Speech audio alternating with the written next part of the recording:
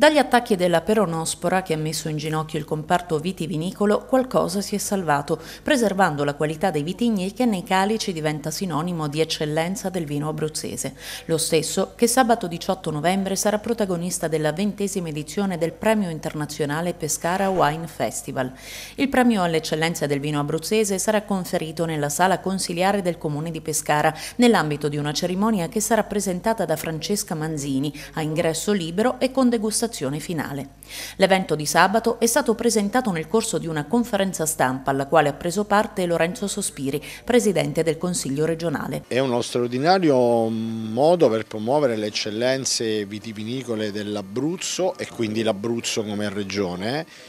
e cade quest'anno però nel momento peggiore per le aziende, per i produttori e per gli agricoltori che si occupano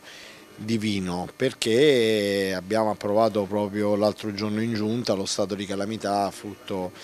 eh, dell'aggressione che i parassiti hanno dato alle nostre vigne. Ciò comporta un momento di grande difficoltà, quindi era importantissimo quest'anno ripetere eh, l'edizione del Wine Festival perché sottolinea l'importanza delle annate precedenti e incoraggia i produttori in questo momento molto difficile, per cui la Regione chiaramente ha già fatto una parte di ciò che può fare e ci attendiamo che il governo guardi all'Abruzzo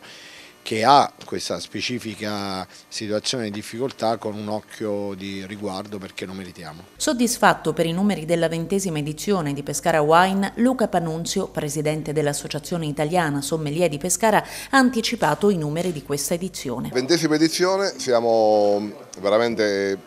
eh, fieri e soddisfatti di, di, di aver raggiunto questo traguardo eh, la partecipazione come sempre è nutrita, 60 produttori abruzzesi presenti, 8 produttori di fuori regione per prendere premi speciali. Tra i premiati premiamo per la prima volta il, un vitigno autoctono che la fa solo una cantina per il momento ed è il vitigno Maiolica che è un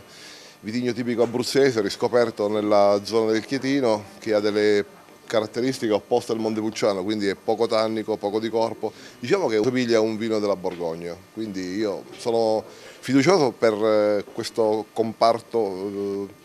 di vino rosso un po' più leggero che può uscire.